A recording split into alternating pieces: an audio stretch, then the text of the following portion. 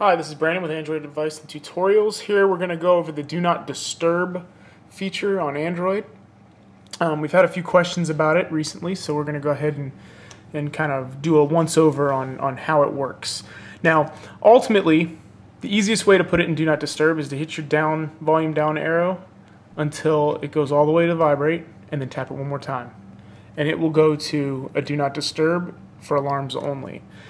Now, in order to turn that off, you just hit the volume up twice and it'll go back to vibrate again and it actually turns your ringer on. So that's the easiest way to get to a do not disturb kind of uh, functionality. But if you want more details or if it keeps turning on and you're not sure why or uh, anything like that, then you can swipe down with two fingers and you'll see in your quick notification or quick options here, um, do not disturb. You can tap that and you'll get all these options. Um, first of all, if you tap that and you didn't mean to, or you come in here because it's on, you can just tap this and that turns it off easily. Okay, so let's go back to it. Okay, now here are your options. One of them is total silence. Okay, total silence does exactly what it says. It will silence your device for the entire time uh, that you've specified. Now, in this case, it's until you turn it off. You can choose for one hour, um, or you can hit the plus button, and you'll see that it'll increase the time by one hour at a time. It does not allow you to go less than an hour, um, unless it's like within the first hour. So, like, you can do 15, 30, uh, 45 minutes, but then after that, it's just one hour, two hour, three hour, and so forth.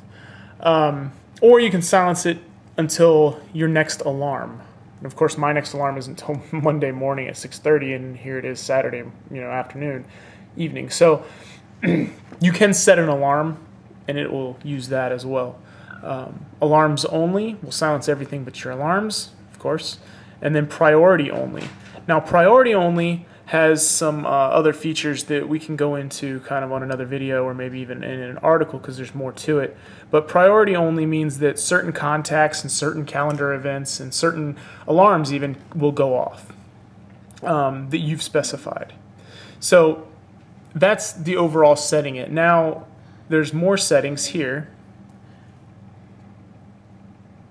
And here you can uh, set up your priority features, which I kind of said we weren't going to go over, but they're here. This is where a lot of this is, or where all this information is. Okay. But some people have specified that they are having trouble with uh, do not disturb automatically turning on. Uh, a lot of times that's because there's an automatic rule set up. and that was under more settings, automatic rules.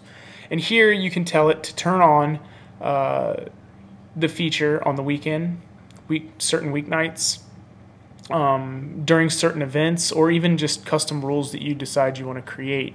Um, so if any of these three are on or you have any additional rules, um, then that is probably the cause of uh, the um, automatic do not disturb turning on. Okay. And you'll also notice here that we're about done. We were playing around in the do not disturb, so it has this little icon with the minus um, kind of sign in a circle, that's the do not disturb symbol. That means that your phone is in do not disturb. So we can simply swipe down, we see it there, tap it, turns it off. So if uh, you have any questions, just uh, drop a line in this video. Uh, or you can visit us over at Android Advice Tutorials. We've been a little slow there, but we're uh, planning on picking up here shortly. Uh, hope this helps, and good luck.